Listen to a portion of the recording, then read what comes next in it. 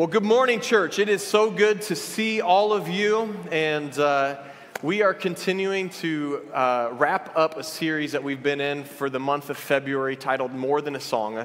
And uh, this morning, I'm going to be talking about how worship is more than a song, but the title of my message is Worship Through Music. Now, I know what you're thinking. That's an oxymoron.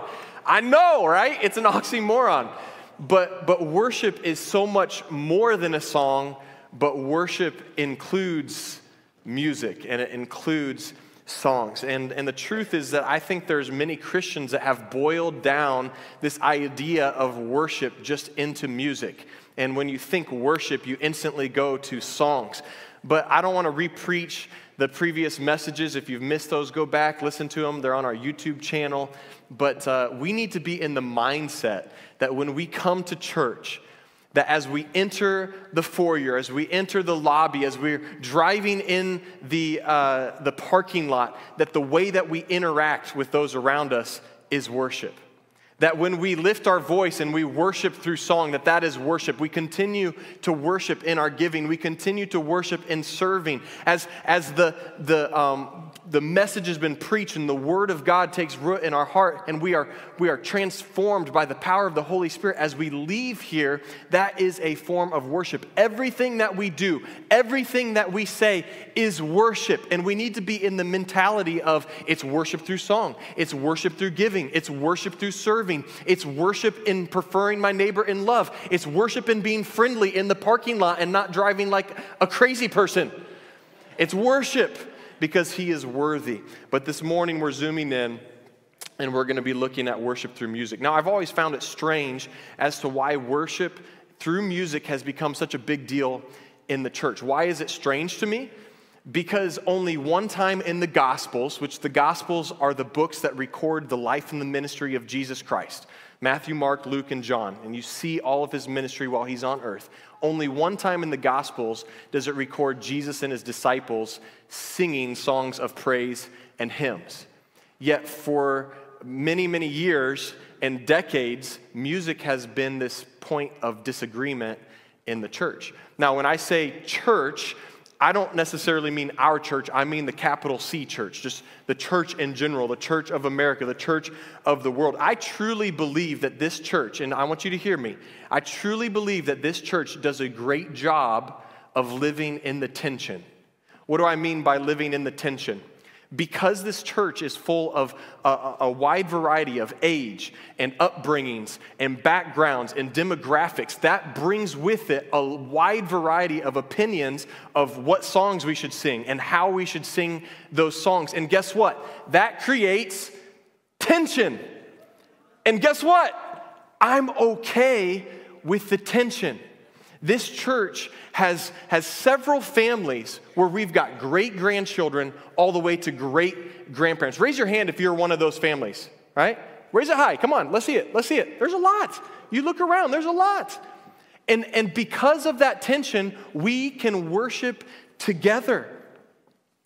Um, on Sunday nights, I, I, think this is a beautiful example of our kids come in and they worship with us, and then we dismiss them for their, uh, their, their uh, not activities, but their sermon and, and their kids, kids' time. And I look over and I see my kids, and when they're singing a song like I Thank God, you know, because He picked me up, He turned me around, He placed my feet on solid ground. I see my kids, you know, doing the actions, and they're singing a little extra loud with that newer song, but then when uh, the song In the Presence of Jehovah comes on.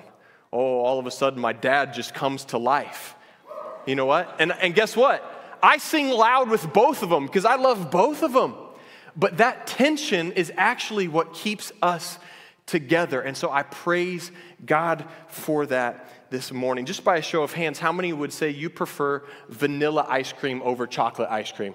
Okay, my hands up. How many would say that you prefer chocolate ice cream over vanilla. It's about 50 50 here, right?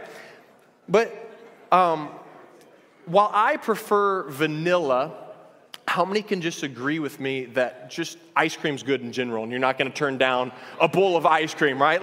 Why? Because ice cream is good unless it's sugar free, and then it's not quite as good. You know, it's better than no ice cream, but it's just not quite as as good.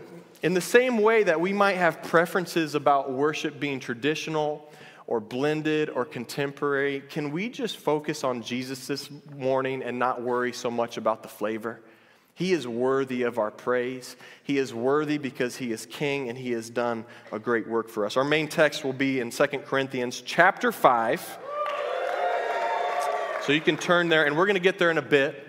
But before we do, I just want to spend a little time talking about the purpose of music within the church. First, scripture is very clear that we are to worship through song and through music. Psalm 95 says this Come and let us sing for joy to the Lord. Let us shout aloud to the rock of our salvation. Let us come before him with thanksgiving and extol him, glorify, magnify him with music and song. For the Lord is great, is the great God, the great King above all gods. In Psalm 117, it says this Praise the Lord, all you nations, extol him, all you peoples, for great is his love towards us, and the faithfulness of the Lord endures forever. Praise the Lord. In Colossians chapter 3 says this Let the message of Christ dwell among you richly as you teach and admonish one another with all the wisdom through psalms and hymns and songs from the Spirit, singing to God with gratitude in your hearts. And whatever you do, this is the worship, right? More than a song. Whatever you do, whether in word or in deed, do it all in the name of the Lord Jesus, giving thanks to God the Father through him. When we worship in church through music, we are aligning ourselves with the written word of God. When, when we lift our voice, when we lift our hands, we are following the written word, the written will, the Bible, God's holy word, and it is aligning with our lives and with our hearts. Now, one great benefit of worshiping through music is that music is an effective way to learn and retain and remember information. Now, I've got three uh, young children Sam, nine, Paisley 7, Essie 5. And I'll just brag on them. They are the best children in the world 70% of the time, okay? The other 30% of the time, they're just Elizabeth's kids, okay? but uh, in, in primary or education, you know, in elementary, what, what do they use as a tool to teach things?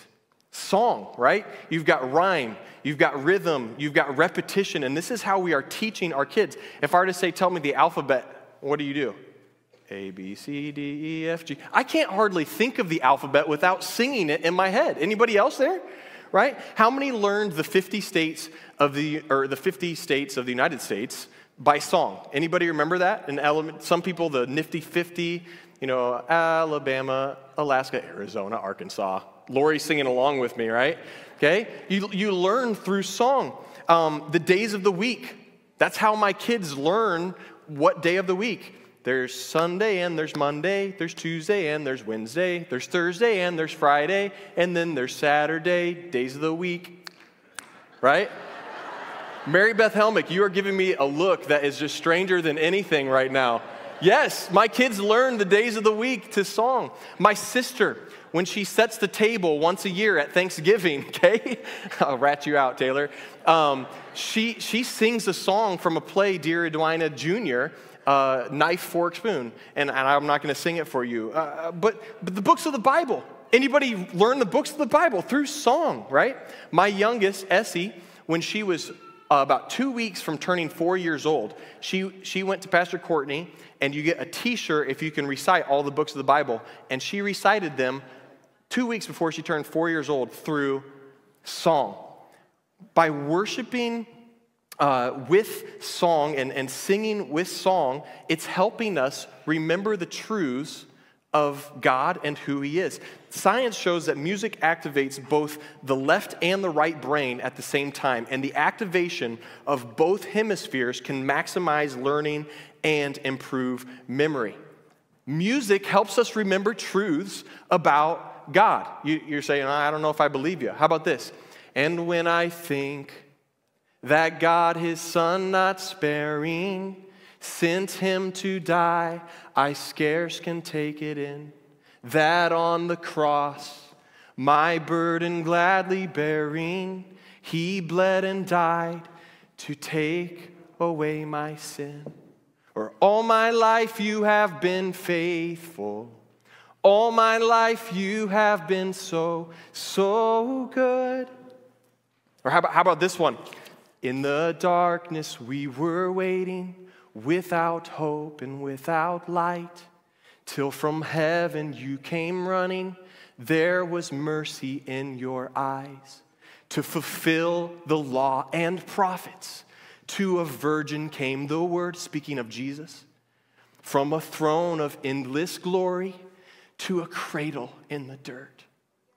You didn't want heaven without us. So, Jesus, you brought heaven down.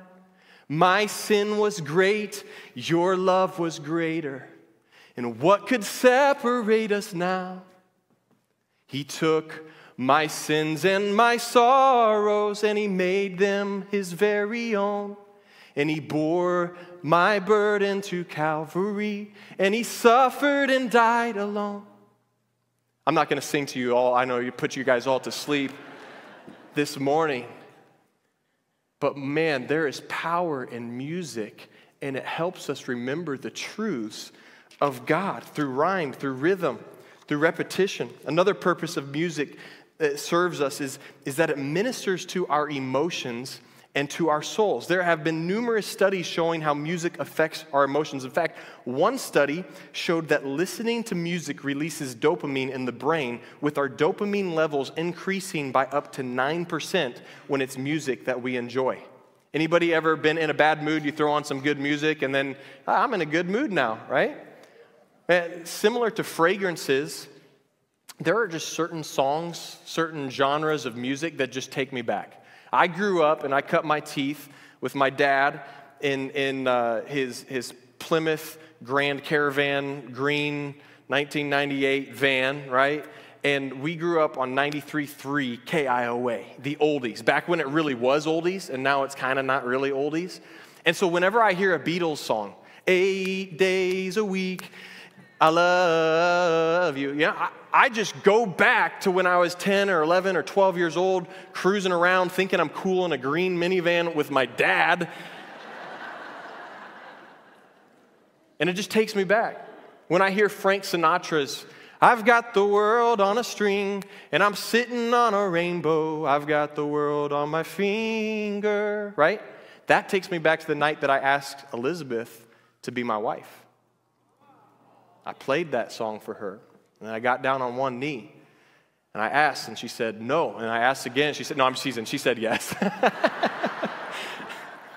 when I hear some of the older worship choruses, as the deer panteth forth, the water, oh, my soul longeth after thee. Or, God is good all the time. He put a song of praise in this heart of mine. You guys remember that one? Oh, yeah. And then there's other people who are like, oh, no. Tension, right? Tension. I like that. Man, I don't fully understand the way that we are wired, but I do know that music is connected with our emotions and with our feelings. I think that's why a lot of people really love the time of worship. You might be sitting here and you're like, well, I, I don't. Well, I'm sorry. but there are a lot because music and song is connected with our emotions. It's important that we really feel God, and, and, and, we need that. But our faith is built on more than just what we feel. We need our emotions and our logic to align and to become balanced. Now, I could spend more time talking about the benefits of music and give more reasons why we, we worship through song, but really, the only reason that matters is that Jesus is worthy. That's why we worship through song, is that Jesus is worthy. Jesus, who is alive today, the Son of God, sitting on the right hand of the throne of God, interceding on our behalf, still performing miracles on our behalf, still saving, still healing. That Jesus is, right? The third person present tense, singular, of the word be. It's, it's the state of being. Jesus is worthy, a person of eminent worth, of, of position, who is worth our attention, our, our interest, our work, our trouble, our love, our praise. Jesus is worthy. You say, well, why is he worthy? Well, I hope you're still in 2 Corinthians 5. Scripture is very clear as to why he's worthy, why we should even have a response such as clapping our hands, lifting our hands, lifting our voices, celebrating all the things he's done. And I, just want to read with you verse 14. Since we believe that Christ died for all, we also believe that we have all died to our old life. He died for everyone so that those who receive his new life will no longer live for themselves. Instead, they will live for Christ who died and was raised for them. You know, I find it odd that the world is all about inclusive language, yet they reject the gospel of Jesus Christ. What does it say in verse 14? That Christ died for all. And in verse 15, he died for everyone. This is the gospel that Jesus died for you, for me, for white people, for black people, for rich people, for poor people, for people that are searching for their identity, for Muslims, for educated, for uneducated, for all people. This is the gospel that God so loved the world that he sent his one and only Son, that whoever, that all who would call on his name would be saved. This is why Jesus is worthy because he is the one who has made a way. It's for everybody. Continuing on verse 16, I'm sorry I get so worked up. It's just really exciting to me. So we have stopped evaluating others from a human point of view. At one time, we thought of Christ merely from a human point of view. How differently we know him now. Thank God that we don't just know Christ as a human, but we have an intimacy, right? There, there's, there's a spirit that connects us together with Him. Verse 17 this means that anyone who belongs to Christ has become a new person. The old life is gone and a new life has begun. If you've received new life this morning, just give me a little wave. If you've received new life this morning, say, Yeah. Say, Oh, yeah. Man, I'm so thankful that the new life has begun. It's now, it's here on earth, this new life. And if you don't have that new life today, I'm going to give you an opportunity to step into that, to find, what out, find out what life of abundance is in Jesus Christ. Verse 18 says, And all of this, and all of this is a gift from God, who brought us back to himself through Christ. And God has given us this task of reconciling people to Him. What is reconcile? To, to fix something that's broken, right? To, to bring people together that are opposing. Scripture says that while we were enemies, Christ died for us. It means that we were in opposition, we, we weren't in relationship, and Christ has reconciled. He has brought us together. Verse 19, for God was in Christ reconciling the world to himself. Here it is no longer counting people's sins against them. And he gave us this wonderful message, this wonderful message of reconciliation. All of this, all of this is from God. All of what? Salvation, new life, forgiveness, reconciliation, a clean slate, transformation of your heart, transformation of your mind, peace, joy, hope, strength. All of this is from God. It is not of yourself. It's not from the do it yourself dummy book. It, it is from God. God is the only one that can give you this new life, that can put in a peace when everything else is around you is, is coming down, that you've got a peace. It's all from Christ. And guess what? It is a gift. Woo, puberty. A gift. That means you can't you can't earn it and you can't buy it. It is something that is given to you.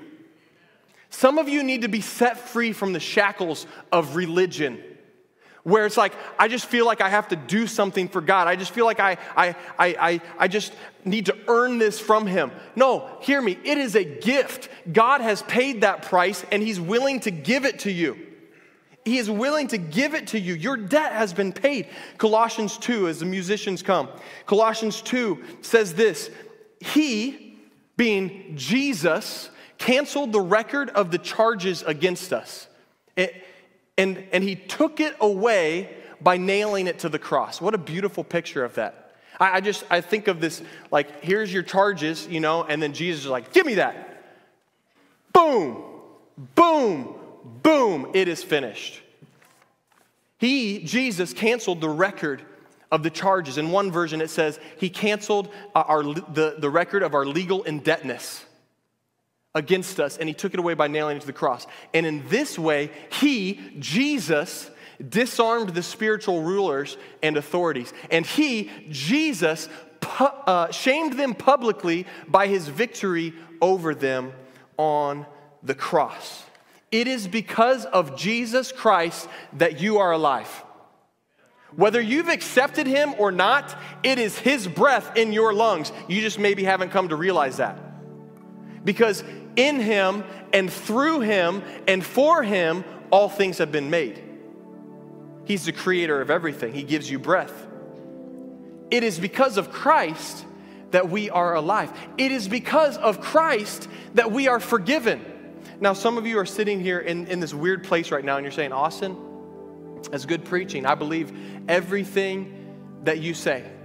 I believe that Jesus died on the cross. I believe that he was raised to life three days later. I believe that he has forgiven me. But you're really quick to add this, but I just can't forgive myself. I, I believe that Jesus, that he died on the cross for me and, and that he has forgiven me, but, but, but I just can't forgive myself. Can we just do a little investigation on, on this handcrafted lie from Satan? Because that's what it is it's a lie from Satan. I just can't forgive myself. You never were in a position to forgive yourself. See, when you were standing convicted, guilty in your, your sin and in your shame, not being in a place of being able to do anything about it, God sent his son to do what only he could do, the perfect Lamb of God, the perfect sacrifice to pay the penalty of our sins. And he did what only he could do. So we don't need to worry about, oh, I, can't forgive myself because guess what? You couldn't, you can't, only Jesus can. Say, well, I, you, you just don't understand. I just can't let myself off, off the hook. I've got to live with this stigma. I just, I just need to do something to make it up to God. Can I just humbly and gently suggest to you this morning that you need to submit yourself under the work of the cross of Jesus Christ and say the most powerful words of praise that a person can ever say and say, I agree with God. I agree with God. And if He says that I'm a loved daughter, then I am a loved daughter. And if He says that I am forgiven and I am free, then I am forgiven and I am free. And if He says that His Son, took my sin and he bore my guilt and he bore my shame, then I say I'm no longer going to carry something that's already been bore by his son. And if, if he says that I can move forward, then I say that I can move forward because I agree with God. That's what faith is. That's what faith is. It's agreeing with God. It's saying, I'm going to stop agreeing with me and I'm going to start agreeing with God.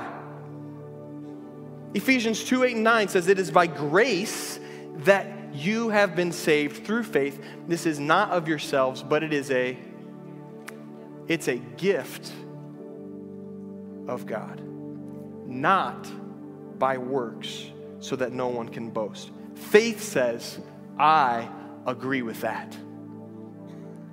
And if I agree with that, if you agree with that. If we all agree with that, then the only conceivable, proper response that I can come up with to this radical grace, to this unconditional love, to this amazing act that God has given us, the only proper response is extravagant worship.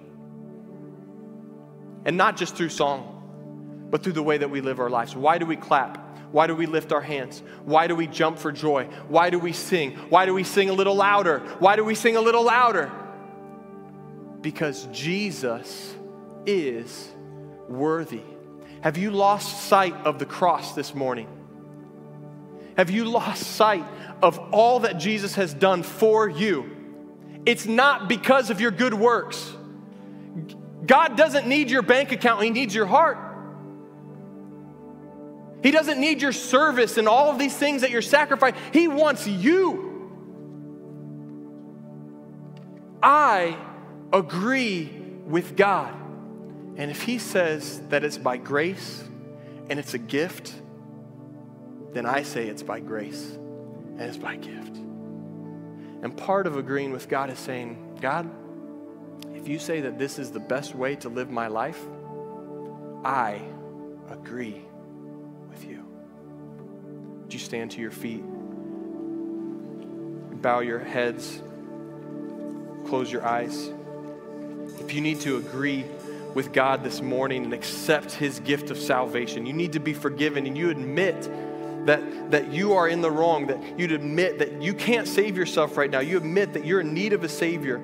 Would you just raise your hand with every eye closed and head bowed? I want to lead you in a, in a prayer where you can receive salvation. You'd say, Yes, there's one in the back. Is there anyone else? Yes. Yes. You're saying, I agree with God. I'm forgiven. I'm chosen. I'm made new. Yes, I see you here. Is there anyone else? Say, I agree with God. I'm going to stop striving. I, I receive your gift this morning. If you raise your hand, would you just repeat this in your heart? Jesus, would you come into my heart? I'm sorry, Lord. Would you forgive me of my sins? Would you change my mind? Would you change my thinking? Would you change my desires, God? Open my eyes that I might see you. Help me love you. I trust that your way is best. Help me, God, to walk in your ways. Help me, God, to, to, to begin to live for you and the things that money can't buy and death can't take away, things of eternity. So, God, I'm calling on you this morning to save me, to fill me, to use me. I give myself to you as you have given everything, Jesus. Thank you, Jesus. If you prayed that prayer, I want to meet with you down in the altar in just a moment, but we are going to respond to Jesus. Why? Because he is worthy. He is worthy. Let's sing this together.